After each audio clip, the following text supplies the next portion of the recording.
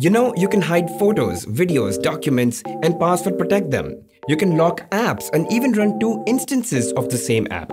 And all of this can happen on your Samsung phone without installing any third party app. It's called Samsung Secure Folder and it's not even turned on by default. So let me help you set it up and make it untraceable. Okay, so there are two ways to set it up. First, you could pull down the notification tray and over here, look for Secure Folder. If it's not here, it's alright. Go into your settings, then go into biometrics and security, and then scroll down to where you see secure folder.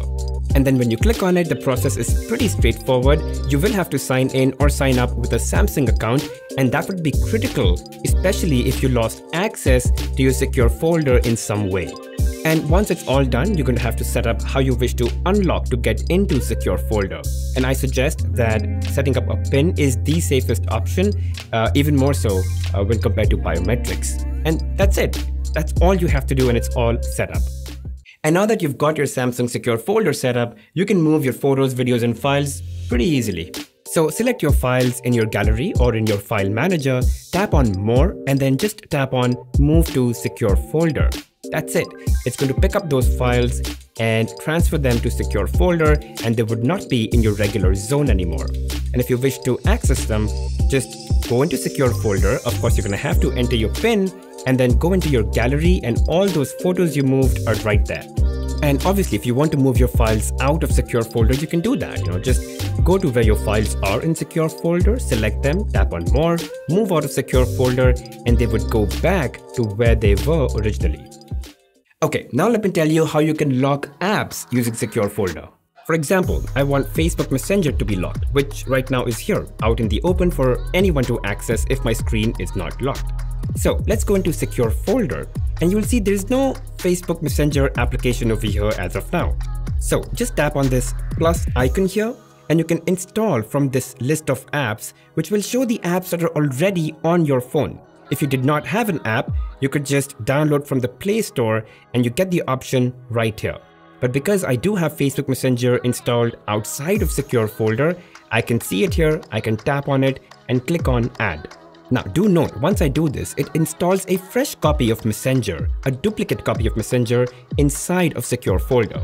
I just sign in with my regular credentials and that's it. All my data flows in, I long press on it and I tap on add to home and it just adds this secure Facebook Messenger onto my home screen and I can see it right here. And now when I tap on it, it's going to ask me for my PIN first before I can open Facebook Messenger. And there you go. But what about the previous Facebook Messenger? Well, you don't need that anymore. So just long press it and uninstall it. It's not going to affect the secure Facebook Messenger that you just installed. So don't worry, you can go there and access as usual. And yeah, just follow the same process to lock any other app on your phone.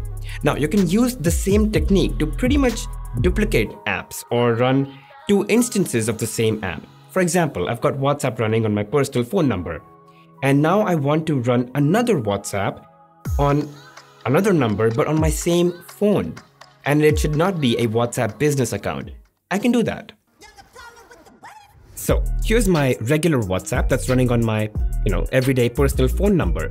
But now I want to add another personal WhatsApp account, but on another phone number on this phone. So I go into secure folder, tap on plus and select WhatsApp. That's it. And as soon as I click on add, it's going to install a fresh copy of WhatsApp in my secure folder. Now when I open it up, it's going to be as if there was no WhatsApp ever. And I can put in the second phone number here and have another WhatsApp running just like this uh, on the same phone. And just like that, I've got one WhatsApp that's running on my regular phone number and another WhatsApp that's running on another phone number but on the same phone in my secure folder. Sure, one's password protected and one's not, but that's okay. But if you want to be super private about your private apps in secure folder, I mean, if you want to make them completely undetectable, there are a few things left to do. Change the name of secure folder to something else because other folks who use Samsung would know about it. To do this, once you're inside secure folder, tap on customize and just give it a name that's a little bit more abstract or something that won't be suspicious. So system tune, change the color and give it an icon and that's it. Just make it look different in your app drawer. You also might want to cut off any notification that might come to you from secure folder to your regular phone use. That would sort of give away the fact that you have a secure folder. So open secure folder, go into settings, and then there's something called as notifications and data. Go into app notifications and here you can manage notifications by each and every app that you've installed in secure folder. Keep it on or off up to you. You can also decide do you want to show content of that notification or not. Next, you might prefer your secure apps to lock themselves immediately as soon as you leave them, but that's not the setting by default.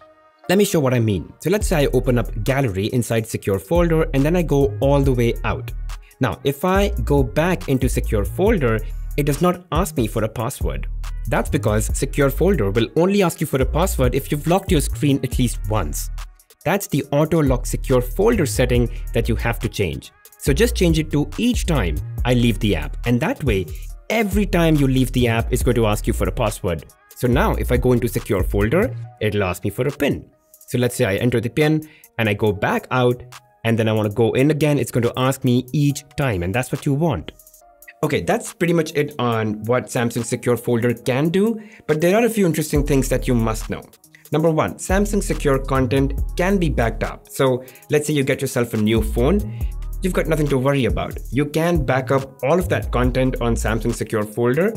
Let's say you're using Samsung backup of any sort or Samsung Smart Switch. So yeah, back it up and then you can transport all of that to your new phone.